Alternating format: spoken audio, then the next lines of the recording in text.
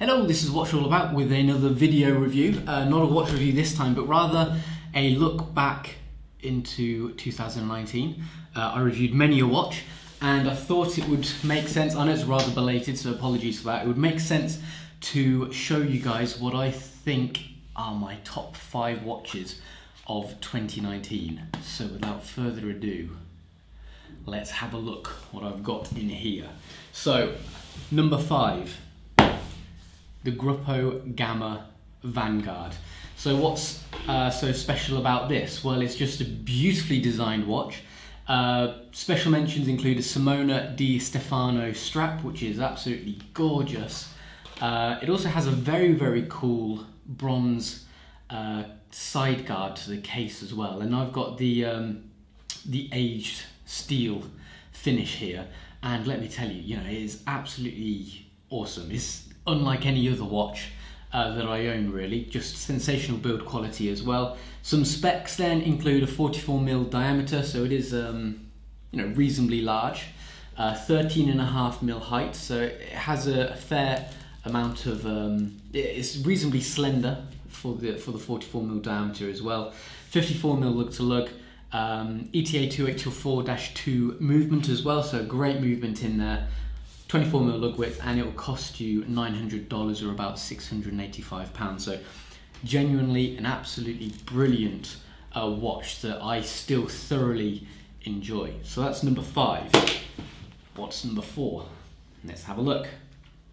A watch that I only just reviewed a few weeks ago right at the end of 2019 but it went straight into my top five the Formex Essence. Now I reviewed the pre-Kickstarter campaign uh, version of the Essence. However, since uh, the Kickstarter was fully funded, uh, they've now gone into full production, and this is the final production version, and it is absolutely beautiful.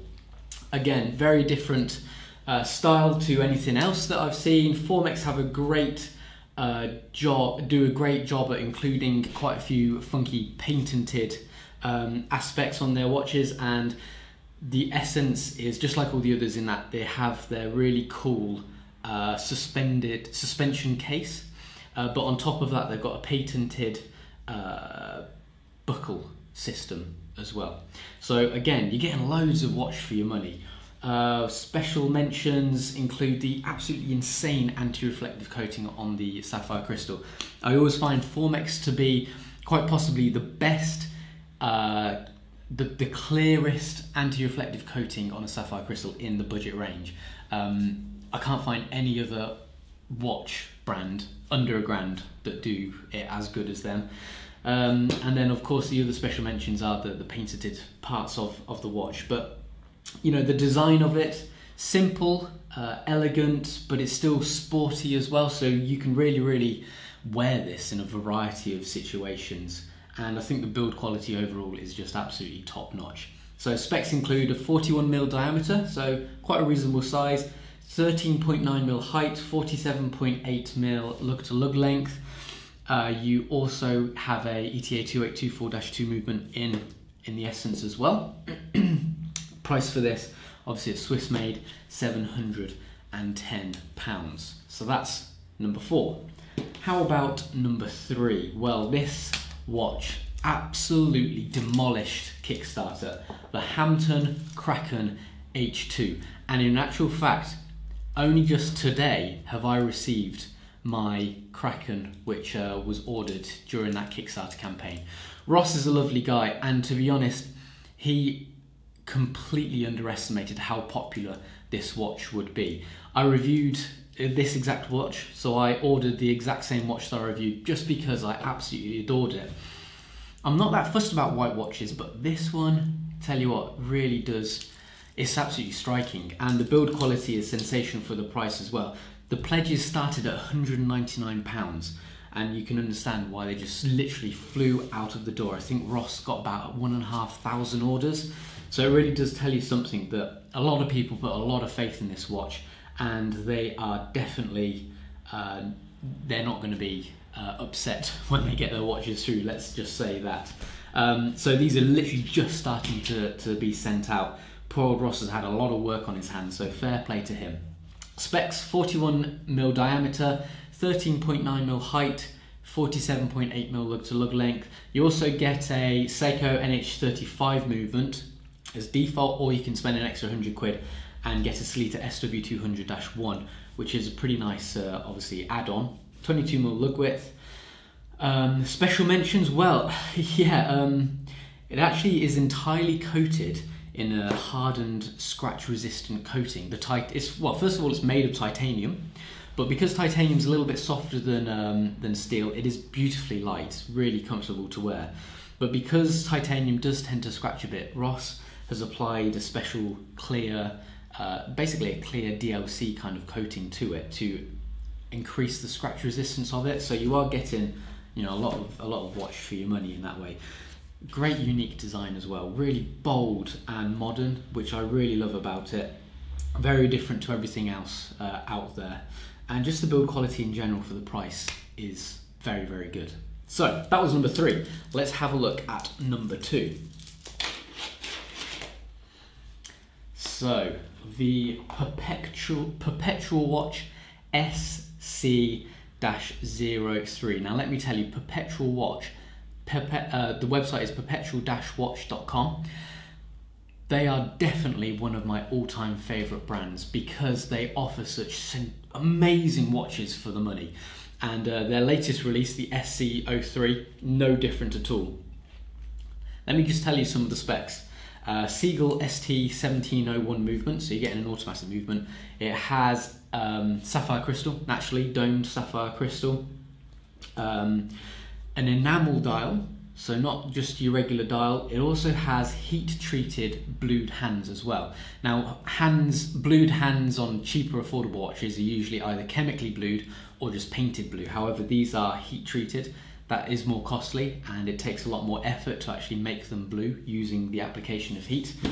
Price a mere $180, which is just absolutely mind blowing. The amount of watch for that much money is unbelievable. Um, some specs then 40 mil in diameter. Obviously, it is a lot smarter uh, in terms of design. It may not be for everyone's taste, it is very elegant uh, in design, especially with the, uh, the numerals. 12 mil height, 48 mil lug to lug length, uh, and uh, it's got a 20 mil uh, lug width as well. So you know that's slightly under 150 pounds, 200 dollars. So absolutely stunning. Uh, but yeah, like I say, the you know the design isn't for everyone. But if you do dig it, just check out perpetual watch uh, perpetual-watch.com and if you dig any of the watches then I would highly recommend buying any of them. So finally, that was number two. What is number one? Well, let me get it out. So it is the Christopher Ward Trident Mark III. So yes, the price has gone up from the Trident Mark II. However, the build quality is genuinely like no other watch in this price bracket. So it comes in RRP is £795. But let me tell you, from top to bottom, is just on a whole other level than alternatives from other Swiss made brands. Obviously, it is Swiss made. The movement is a Sellita SW200 1. Um, 600 meters water resistance, so you are getting genuinely a great diver. But on top of that, you've got just a beautiful glossy dial. I mean, I think that really transformed the look of the watch. A lot of people were miffed about the wave dial uh, disappearing. With this glossy dial, no problems whatsoever. It has got a beautiful reflective zirconia ceramic bezel insert as well. So again, that reflects in the light, just looks top notch. And the general attention to detail all over is, is just beautiful. Uh, many people will be continuing to whinge about the logo. The logo is here to stay.